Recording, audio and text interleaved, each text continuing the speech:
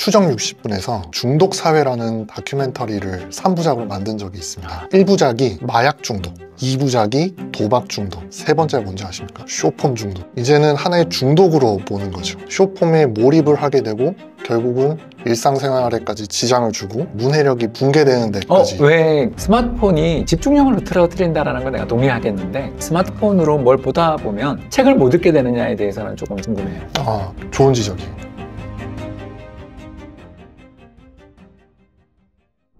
안녕하세요. 이코노미스트 홍춘욱입니다. 오늘은 오래간만에 게스트 불렀습니다. 사실 제가 게스트 잘 안 부르는데요.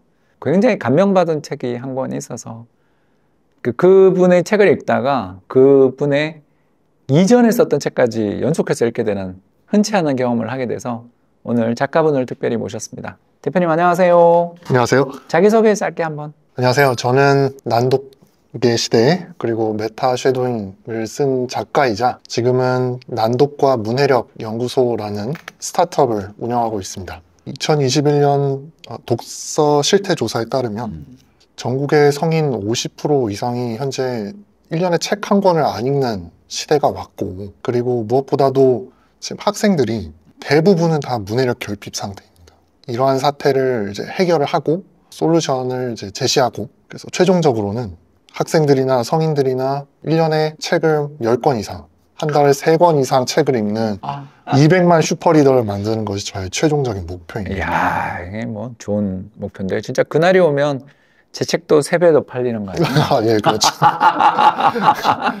사실 저는 책을 한 30권 썼거든요. 아, 예, 예. 30권 더 썼는데 30권 쓰면서 느낀 게 뭐냐면 이제 그 needs를 잘 파악해야 되고 또 흥미로운 주제를 선정해야 되고 글을 쉽게 써야 되고 이렇게 생각을 하면서 쭉 책을 열심히 쓰고는 있는데 예전에 비해서 확실히 책을 안 읽는 분들이 늘었다 또는 어, 진지하게 좀 이야기하자면 책 내용을 잘 이해를 못 하시는 분들이 되게 좀 아, 그렇죠. 느껴질 때가 있는 것 같아서 이게 아 내가 책을 좀 쉽게 못 쓰는구나 이런 자책을 참 많이 했었는데 일단 제 탓만은 아니다. 아, 네, 그렇죠.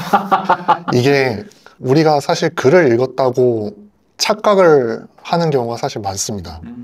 그러니까 글이라는 건 본디 한국인의 경우에 좌에서 우로 그리고 모든 글자에 눈이 마주치면서 글을 읽어야 되는데 어, 실제 시선 추적을 해보면 아. 사람들의 글 읽기 행태가 그렇게 이상적이지만은 않다는 거죠. 그 시선 추적하는 그런 기계가 있나 보죠. 아, 예, 물론입니다. 그 시선 추적 기계가 있고 그거를 이제 분석하고 이제 학생들한테 상담을 해주고 그에 대한 솔루션을 제공을 해주는 거죠. 어, 그러면 어, 좋은 글 읽기, 책 읽기 또는 문해력을 높이는 독서의 어떤 뭐 눈 시선은 의도적으로 좀 어떻게 움직여야 됩니까? 사실 제일 이상적인 것은 아까도 말씀드렸다시피 모든 글자에 눈이 마주쳐야 됩니다. 인간의 시야는 사실 한정이 돼 있거든요. 그러니까 인간의 시야가 굉장히 한정돼 있어서 시중에 있는 뭐 사진 찍기 기법이랄지 혹은 한 페이지 읽기 이런 것들은 사실은 굉장히 비과학적인 읽기 방법이고 어, 옛날 우리 속독 배울 때 사선으로 이렇게 쫙 읽으라고 배웠었는데. 네 그렇게 해가지고는 절대 우리가 해당 내용을 인식할 수가 없는 거죠. 오. 그러니까 정독이라 하면 이제 사전적으로 정의를 했을 땐 내용을 꼼꼼하게 읽는다 라는 뜻을 가지고 있는데 사실 이거는 사람들에게 잘 와닿지가 않습니다. 그래서 이거를 과학적으로 좀 접근을 해보자면 정독은 모든 단어에 눈이 맞춰서 읽어야 된다. 이게 이제 정독의 과학적인 정의라고 볼 수가 있는 거죠. 음, 저는 이제 교육에 되게 관심이 많거든요. 왜냐하면 이 경제학자들은 일단 교육에 관심이 많을 수밖에 없는 게 어떤 나라는 성공하고 어떤 나라는 왜 실패하는가라는 그런 고민들을 다 하며 저 같은 경우는 특히 글로벌 분산 투자하는 회사의 대표니까 어느 나라가 투자에 적합한가 이런 걸 고를 때 제일 먼저 뭘 보냐 하면 피사 점수라는 걸 봐요. 아, 네. 예, 예. 문해력 시험. 예, 국제 학력 평가 시험인데 이게 이제 보통 3년마다 한 번씩 하는데 네. 코로나 때문에 이제 2022년에 치러진 시험이 있는데 그 시험 결과를 보면 한 40개 나라가 나옵니다. 네. 어, 전부 예, 읽기, reading 능력들이 언제부터 폭락하고 있냐면 2009년부터 전 세계 모든 나라의 학생들의 읽기 실력이 그냥 땅바닥을 향해서 떨어지는 바닥을 향한 질주를 하고 있더라고요. 아, 예, 예. 그거에 대해서 조금 더 제가 부연 설명을 드리자면 2019년 겨울부터 2020년, 아, 2021년까지 이제 코로나19 사태가 계속해서 지속이 되었고, 그 기간에 학생들이 학교를 가지 않고 집에서 이제 원격으로 수업을 아, 배우면서 속 이제 터졌습니다. 사실 그 거기까지는 괜찮은데요. 가끔씩 학생들이 학교에 나오는 날도 있잖아요. 아, 그렇죠. 그때는 모두가 다 마스크를 쓰고 이제 선생님들이 제한된 환경에서 이제 학습을 할 수밖에 없는데 특히 저학년의 경우에 이 문자와 이 소리의 관계를 계속해서 매칭시키고 훈련을 시키는 것이 중요합니다. 그러니까 마스크를 씀으로써 어, 어. 친구들이나 선생님이 글을 읽는 소리가 잘 안 들리고 아, 안 들리죠. 일단 소리가 뭉개지고 뭉개지죠. 그 무엇보다도 선생님의 입모양을 보면서 자기의 발음을 계속 교정시켜 나가야 되는데 아, 그럴 기회를 놓친 거죠. 거기에다가 2015년부터 사실 유튜브 키즈라는 게 나왔는데요. 그러니까 유튜브 키즈를 통해서 음. 아이들이 더 이상 책에 혹은 글에 관심을 가지지 않고 애니메이션에 더 몰입을 하게 되고 네, 애니메이션 정말 좋아요. 네. 그러니까 글로부터는 더 괴리가 되는 상황이 음. 이루어졌습니다. 이- 이러한 이제 유튜브 몰입과 그다음에 코로나19 사태로 인해서 특히 초등학교 저학년, 초등학교 고학년까지도 이 문해력이 심각하게 지금 결핍이 되어 있는 상황입니다. 게다가 이제 스마트폰 중독도 아, 예, 뭐. 빼놓을 수 없는 요인 같아요. 사실 저도 예전보다 책을 덜 읽어요. 그건 정말 고백. 어, 왜 그러냐면 전자책을 저도 되게 다운을 수백 권을 다운 받아서 다니는데 전자책을 이렇게 읽어가고 있잖아. 읽어가고 있다가 누가 카톡이 와. 누가 페이스북에 나를 태그해. 그러면 일단 글로 가잖아. 아, 예, 그렇죠. 그 집중력이 저도 저처럼 헤비 리더라고 해야 되나요? 1년에 책 100권 이상 읽는 사람조차도 옛날 같은 집중력을 발휘하기 힘든 환경인데 유튜브 쇼츠가 정말 무섭잖아요. 그 동영상을 보는 트렌드가 점점 동영상의 길이가 짧아지다 못해 이제는 1분, 30초까지도 지금 사람들이 계속 그- 틱톡까지, 그죠? 그렇죠. 이거를 쇼폼이라고 합니다. 인스타그램의 릴스, 그 다음에 아. 틱톡의 틱톡, 그리고 아. 유튜브의 쇼츠. 그게 끝이 없어, 근데. 세상의 천재들은 다 유튜브랑 뭐 틱톡이랑 메타에 다 가 있나 봐요. 아, 네. 세- 이게 비단 엔지니어뿐만이 아니고 유망한 심리학 박사든 심지어 신경과학 어, 관련된 연구자들도 이러한 알고리즘을 정, 그 사람들한테 정확하게 찌르기 위해. 찌르기 위해서 수많은 연구가 들어가. 너 이래도 안 볼래? 이걸 만들어내는. 네, 그렇죠. 아, 그리고 하나를 보면 그 뒤에 연결이 돼서 또 다른 게 아, 되잖아요. 와, 근데 나도 몰랐던 나의 취향을 알게 되는. 2024년 5월에 음. 추정 60분에서 음. 그 중독 사회라는 다큐멘터리를 3부작으로 만든 적이 있습니다. 아, 1부작이 마약 중독, 2부작이 도박 중독, 세 번째 뭔지 아십니까? 동영상 중독. 쇼폼 중독. 아, 맞출 수 있었는데. 이 쇼폼을 이제는 하나의 중독으로 보는 거죠. 아, 진짜 그 중독적이에요. 하루 평균 전국의 남녀 1000명을 대상으로 조사해 본 결과 음. 하루 평균 75분을 쇼폼을 시청하는 데 쓰고요. 주말 동안에는 무려 95분을 쇼폼을 보는 데에만 투자를 한다고 합니다. 그리고 2021년에는 쇼폼을 내가 한 번이라도 봤다 하는 사람들이 76%였는데 2023년 같은 기관에서 조사를 한 결과로는 90%가 나는 한 번이라도 쇼폼을 봤다. 근데 이게 중요한 게 아니라 사실은 이 사람들의 68%가 아, 나는 다음 쇼폼을 볼 의향이 있다. 그쵸, 그쵸. 그러니까 이것은 계속해서 쇼폼에 몰입을 하게 되고 결국은 일상생활에까지 지장을 주고 심지어는 어, 문해력이 붕괴되는 어, 데까지 왜 그게, 근데 저도 동의해요. 이제 쇼폼을 보는 시간만큼 독서 인구를 뺏긴 거야. 난 이건 인정해. 그리고 책이라는 게 많이 읽다 보면 더 재밌거든요. 그래서 처음부터 안 읽기 시작하면 한도 없이 어려워요. 그냥 그 박 대표님 말씀에 동의하는데 약간 궁금한 게 스마트폰이 집중력을 흐트러뜨린다라는 건 내가 동의하겠는데 왜 그 스마트폰으로 뭘 보다 보면 책을 못 읽게 되느냐에 대해서는 조금 잠깐 궁금해요. 아, 좋은 지적이에요. 박사님도 아시다시피 재밌는 게 너무 많고 네, 그게 너무 많아. 그리고 무엇보다도 음. 이제는 어, 사람들이 책으로부터 음. 정보를 얻기보다는 음. 유튜브를 통해서 정보를 얻는 그런 비중이 더 훨씬 높아졌습니다. 사실 저도 검색할 때 유튜브 찾아보는 게 편해요. 왜냐하면 글을 읽는다는 행위 자체가 대부분의 사람들한테는 스트레스로 다가오는 거죠. 네, 그 요새 뭐 많은 이야기 있잖아요. 뭐 어, 사흘이 아, 네. 뭐 그죠? 삼일, 뭐 나흘. 그러니까 사일과 나흘, 이거 사흘을 헷갈리고 헷갈리는 거 되게 많아서 꼭 그러니까 옆에다 숫자를 적어줘야 된다고. 그 2021년 EBS의 문- 당신의 문해력 이라는 이제 다큐멘터리에서는 이 특히 코로나 때 문해력이 심각하게 붕괴된 상황이고 심지어 그 학부모들조차도 가정통신문조차 제대로 이해를 못해서 금일과 금요일을 헷갈린다든지 하는 케이스가 이건 뭐 비일비재하고 제 친구도 학교 선생님인데요. 어우, 그 가정통신문 발행 건수가 원래는 평균적으로 한 150건수였는데 음.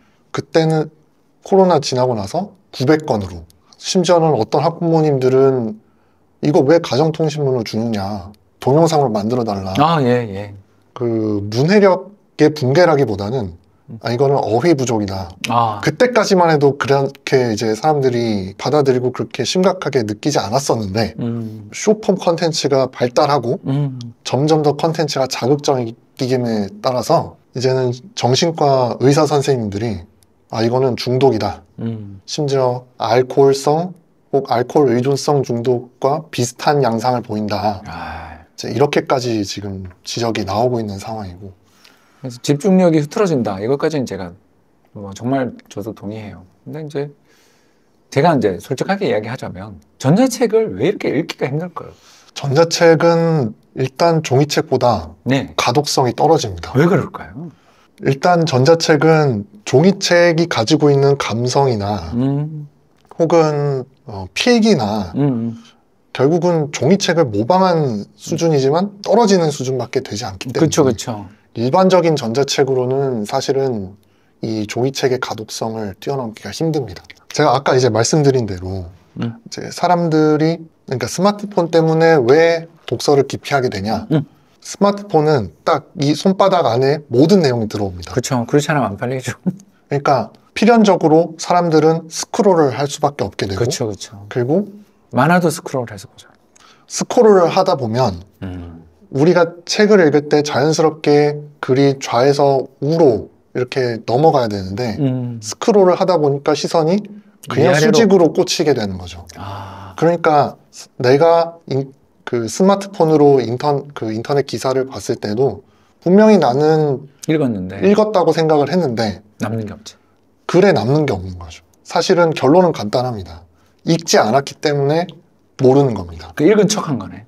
그렇죠. 그리고 어, 이 손바닥 가로폭에 이 시선이 맞춰져 있다 보니까 그렇죠. 이렇게 책을 읽을 때도 사실은 그 아. 자기가 보는 시야대로 어, 글을 읽을 수밖에 없게 되고 그래서 책 하나가 의 중간 부분만 읽고 심지어는 아, 어, 끝까지 못 가는구나. 예, 그렇죠. 글의 끝과 끝을 못 읽는 케이스도 있었습니다. 아, 이거 혹시 실험해 보셨어요? 테스트 해 보신 적 있으세요? 저희가 수많은 학생들과 심지어 이제 성인분들도 저희가 시선 추적을 통해서 아, 그런 분들의 이제 읽기 행태를 쭉 조사를 해봤는데 공통적으로 문해력이 붕괴되거나 독서 깊이 때문에 어, 책을 좀 안 읽는 성인분들은 시선이 굉장히 어지럽거나 좁아져 있거나 심지어는 어휘력이 좀 많이 안 좋아서 어느 한 곳에 굉장히 시선이 몰려 있는 케이스들도 아, 그러면 많았습니다. 금방 필요함을 느낄 것 같아요.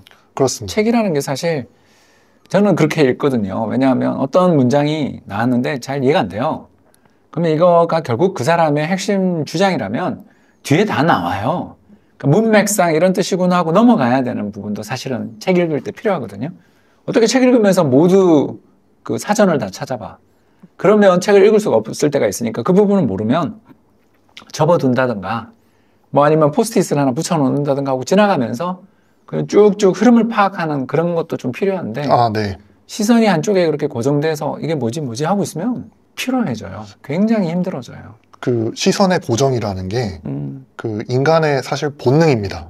그러니까 자기가 모르거나 이해가 잘 안 되는 단어나 음, 혹은 구절, 문장에 대해서는 음. 그것을 이해하고 넘어가야 된다는 그런 어떤 일종의 강박관념 같은 것들이 내재가 되어 있는 거죠. 그러니 이제 악순환을 타는 것 같아요. 네. 왜냐하면 책을 안 읽다가 뭐 스마트폰만 보다가 책을 읽는 습관들을 잃어버리거나 또는 어떤 책을 어떻게 읽어야 된다라는 것 자체에 대해서 좀 뭐랄까요 이제 공백이 생겨버린 거죠. 그러다가 책을 읽는데 어, 내용도 안 돼. 어려워. 그리고 단어도 이해가 안 돼. 어, 무슨 말이지? 찾아보려니까 귀찮아. 그러다가 이제 초반 한 10페이지 읽고 덮어버리는. 이런 일들이 너무 벌어지니까 저도 어, 고백합니다, 여러분. 초반 10페이지 쓰는데 전체 책 쓰는 시간의 90%를 쓰는 것 같아요, 저는. 아, 왜냐하면 초반 10페이지에 사로잡지 못하면 이 책이 안 팔리니까. 그걸 되게 많이 느껴요. 그 제목과 초반 10페이지가 책의 거의 내용의 아주 극히 일부에 불과한데도 거기서 뭔가 후킹을 못하면 죄송합니다. 후크송 좋아요. 후킹을 못하면 안 팔려. 저희 편집자님께서도 그, 그 첫 부분을 좀 강렬하고 자극적으로 써야 된다 이렇게 말씀을 하시더라고요. 자, 그러면 질문이 하나 이 대목에서 나오는데 대체 박 대표님 또는 박 작가님 어떻게 해야 이 문제를 해결할 수 있을까요? 책을 세상에 재밌는 게 많고 두 번째 책 읽는 방법도 다 잃어버렸어. 그리고 그러다 보니까 어휘력도 딸려. 악순환이잖아요. 사실 그런 문제를 저희가 진단을 하고 음. 그러한 이제 솔루션을 저희가 제공을 하고 있습니다. wow. 스타트업 대표래. 그래서 제가 어, 좀 도와드리려고 불렀어요. 아, 돈 한 푼 안 받았어요? 저희 뒷광고 없습니다. 여러분 아시죠? 저는요, 뒷광고 이런 거 없어요. 왜? 제가 마음에 들어야 불러요, 저는.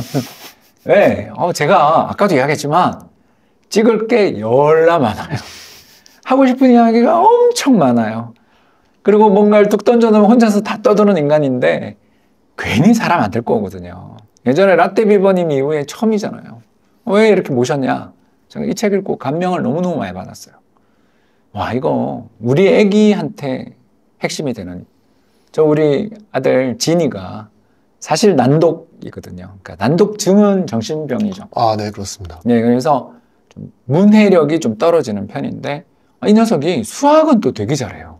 근데 수학 문제 꼭 하나씩 틀려오는 게 그 앞에 문제가 다섯 줄 넘어가면 못 풀어요. 아, 어, 이걸 어떻게 해결해야 됩니까? 슈퍼북이라는 이제 솔루션이 있는데요. 저희 슈퍼북은 저희 리딩팩이 반영된 새로운 형태의 전자책입니다. 모든 글자를 다 읽게 만드는 제가 아까 말씀드린 정독과 몰입을 책을 읽으면서 자연스럽게 보장을 하고요. 그리고 이 현대인의 독서 기피 원인 중 가장 큰 원인인 시간 부족 문제를 저희가 해결할 수 있습니다. 어, 어떻게 시간 부족 문제를 해결하나요? 저희가 이제 특허받은 기술이 있는데요. 슈퍼북을 통해서 어, 정독을 하는 도중에 이 스피드 조절 기능이 있는데요. 아, 몰입을 하면서 자연스럽게 이제 독서 속도를 그 스피드 조절 기능을 통해서 올릴 수 있거든요. 1단부터 몇 단까지 있나요? 1단부터 7단계까지 있는데 7단은 진짜 속도의 영역이겠군요. 7단은 사람들한테 읽으라고 만든 속도는 아니고요. 6단을 좀 더 적응시키기 위해서 일종의 중간 단계로 아, 7단 만들어 갔다가 놓은 6단 오면 이렇게 편하니까. 네. 그래서 사실 5단 정도면은 우리 홍 박사님 같은 아주 고도의 숙련된 독서가 정도의 속도가 나오고요.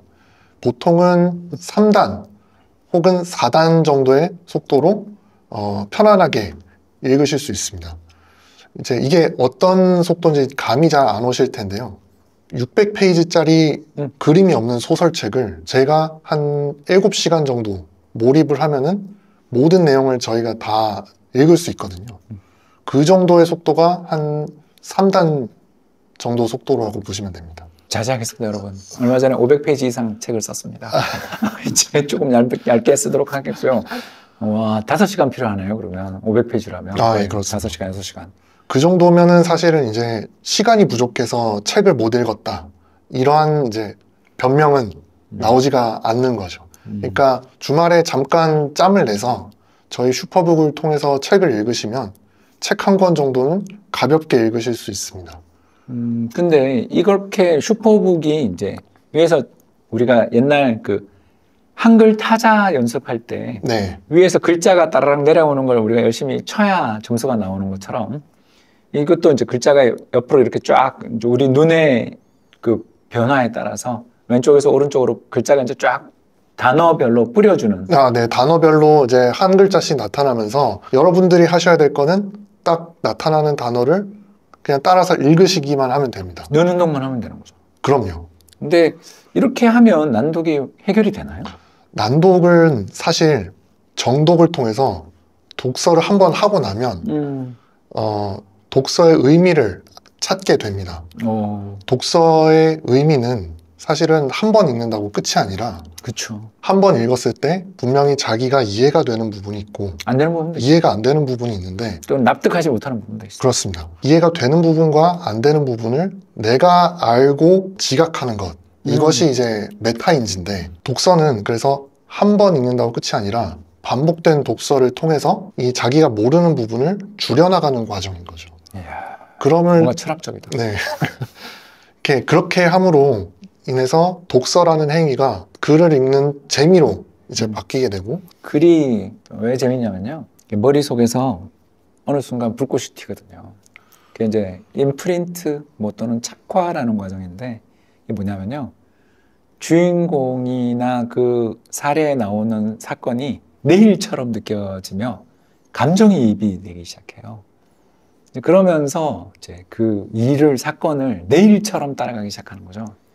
그래서 몰입도 몰입인데 공감을 하게 돼요. 아, 네. 그래서 위대한 문학 작품들을 어려서부터 많이 읽는 게 좋다는 게 그 사람의 마음, 이반 소비니치 예를 들어서 뭐 그런 사람들의 마음을 까라마조프 그 일리치의 마음을 우리가 공감을 하고서 읽고 저러면 안 돼! 그러던 게 오는 거예요. 그 순간 오면 이제 이루 말할 수 없는 즐거움이 그 제가 박사님이 말씀하신 거에 저도 전적으로 공감을 하는 게 그 난독의 시대에서도 문해력을 단순히 어떤 글을 읽고 이해하고 그것을 활용하는 능력뿐만이 아니라 공감 능력이라고 표현을 했거든요. 그래서 단순히 지식을 얻는 행위뿐만이 아니라 이 글을 쓴 사람의 심정이나 혹은 그 상황 자체를 음, 온전하게 이제 받아들이게 되는 것 음. 그것까지가 이제 문해력이라고 볼 수가 있는 거죠. 아, 참 좋은 것 같습니다. 그런데 저는 이 책 그 난독의 시대도 정말 좋았지만 사실 이 책을 읽은 덕분에 이 책도 읽었거든요. 이게 이제 메타 쉐도잉이라는 책인데 저 이 메타 쉐도잉 읽고서 용기를 좀 얻게 됐어요. 어떤 용기를 얻게 됐냐면 제가 사실은 영어를 잘 못해요. 왜 그러냐? 일단 어, 경상도 출신이고요. 일단 발음이 안 좋아요. 그래서 나이 들어서 서울에서 이제 어학당도 다니고 아 제가 다니던 학교에 어학당이 있었어요. 어학당도 다니고 또 해외에 나가서 여러 가지 컨퍼런스도 참여를 하고 하는데 제 발음을 상대가 못 알아듣는 경우를 히어링이 제일 중요하다는 건 알지만 분명히 저 사람 말을 알아듣고 내가 질문을 하거나 답변을 했는데 상대가 못 알아듣는 경우를 너무나 많이 겪었거든요. 아, 그러니까 그때 되게 힘들었어요. 왜냐하면 어, 부끄럽기도 하지만 내가 도대체 이렇게 노력했는데도 안 되는구나라는 그 좌절감 그리고 보상을 받지 못하는 일에 대해서 사람은 노력을 하지 않게 되잖아요. 그래서 악순환을 난독증처럼 비슷하게 겪었던 기억이 나는데 그거에 대한 해법도 여기 잠깐 아, 이야기해 주시면 좋을 것 같습니다. 네, 사실 제가 어, 이 메타 쉐도잉에 대해서는 길게 말씀을 드리지 못하지만 짧게 말씀드리자면 사실은 영어는 누구나 다 잘할 수 있습니다. 근데 선생님 그런가?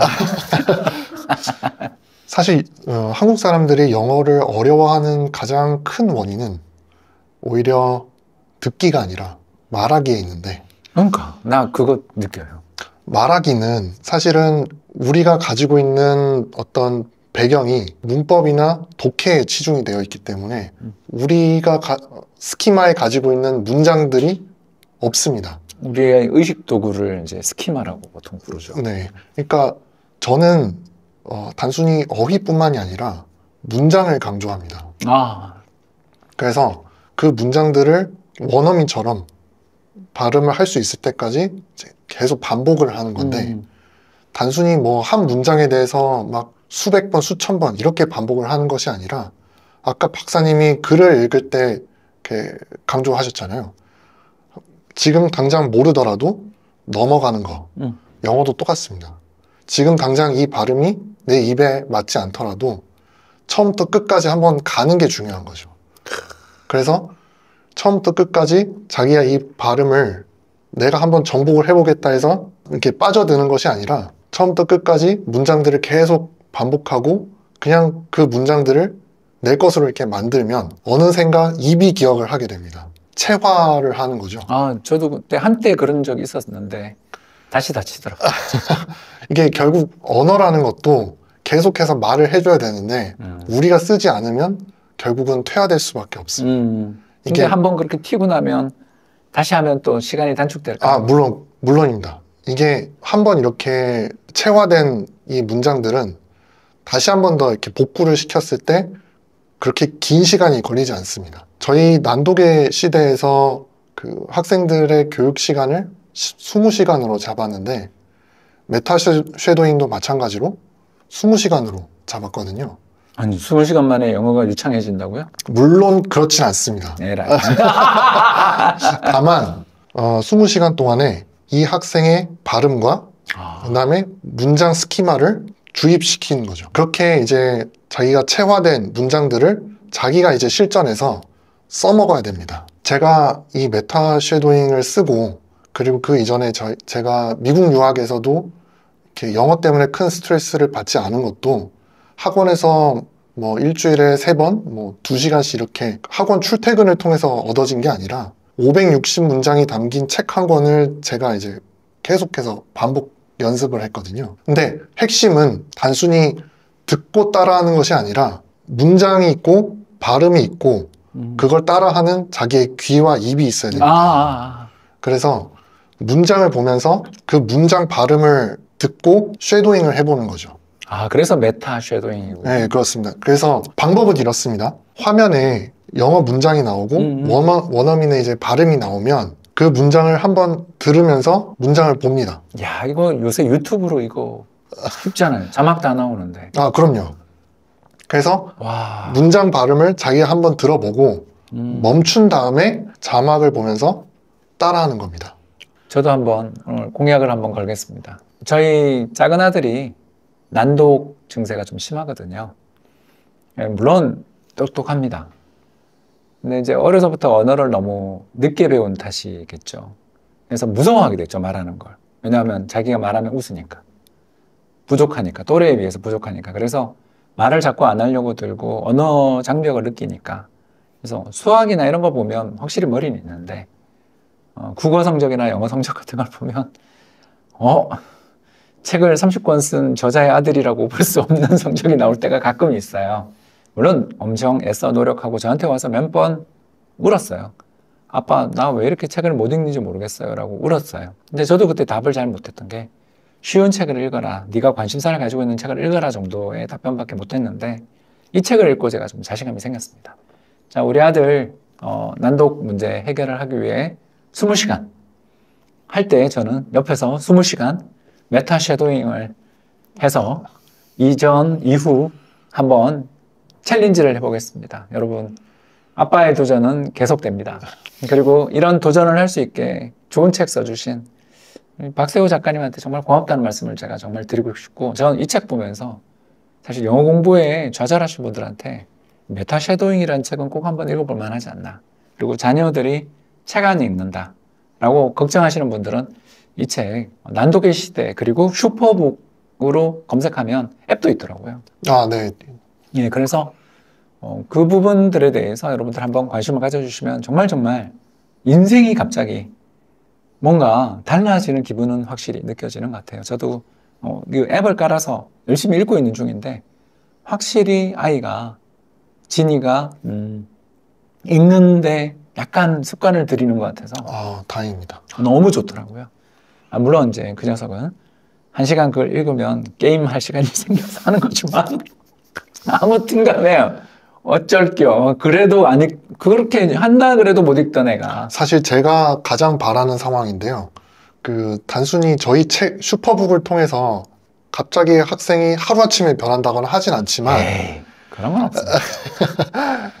어, 저희 슈퍼북을 통해서 글과 좀 더 친해지고 음. 그리고 아 글에 대한 자신감을 좀 얻게 되고 더 나아가서는 이 유튜브를 보는 시간을 좀 더 줄이고 그 시간 이제 다른 도파민이 나오는 다른 수단 뭐 예를 들어서 운동이랄지 제가 권하는 수단은 책인데 음, 그 시간을 책으로 채우는 게 사실은 최고의 목표겠죠. 네, 제가 생각하는 가장 이상적인 상황입니다. 아유 오늘 참 박세호 대표님하고 처음에는 좀 어색했는데 역시 개인의 그런 이야기를 듣고 풀다 보니까 점점 또 편하게 이야기했던 것 같습니다. 참 제가 생각했을 때 어, 제 책을 통해 경제적 자유를 얻는 데 도움이 됐다는 분들 만날 때 제가 정말 자부심을 느끼는데 우리 박세호 자- 저자 같은 경우는 어, 저처럼 용기를 갖게 됐다라는 사람들을 많이 만나시게 될 것 같아요. 끝으로 뭐 한 말씀 우리 이 시청자분들한테 구독자분들한테 한 말씀 한번 하신다면 어, 사실은 화학공학과를 전공을 하다가 음. 이제 신경과학과로 전과를 했거든요. 그랬던 가장 결정적인 계기는 사실은 공부 때문에 스트레스를 받는 사람들이 꽤나 많았다. 그래서 그런 사람들의 어떤 속내 혹은 인지 과정에 좀 관심이 많았어요. 음. 그리고 무엇보다 제가 이제 수능을 세 번 준비를 했던 사람으로서 음. 이 사람 학생들이나 이 어른들이 무엇에 가장 스트레스를 받는지 제가 가장 공감을 하고 있었던 상황이었고 이런 사람들을 제가 좀 도와줄 수 있는 방법이 없을까 그렇게 해서 제가 한국으로 돌아와서 이제 사업을 하게 되는데요. 제가 생각하는 가장 큰 목표는 대한민국뿐만이 아니라 전 세계 사람들이 자신이 가진 어떤 한계 때문에 꿈이나 목표를 포기하지 않았으면 좋겠습니다. 그래서 저희 솔루션을 통해서 이 사람들이 글에 대해서 좀 더 친해지게 되고 더 나아가서는 자기가 목표하는 바를 이루고 그 사람들이 이 사회에 더 이바지하는 그런 이제 인재 선순환적인 사회를 제가 만드는 게 꿈입니다. 그래서 아까 말씀드린 그 200만 슈퍼리더도 이제 그런 차원에서 말씀을 드린 거고요. 홍 박사님의 채널에 이제 출연시켜 주셔서 정말로 감사드리고 이 기회를 통해서 좀 더 사람들이 더 친숙해지고 좀 더 책을 더 많이 읽는 사회가 될 수 있도록 더 분발하겠습니다. 지금까지 난독과 문해력 연구소 대표 박세호였습니다. 감사합니다. 감사합니다.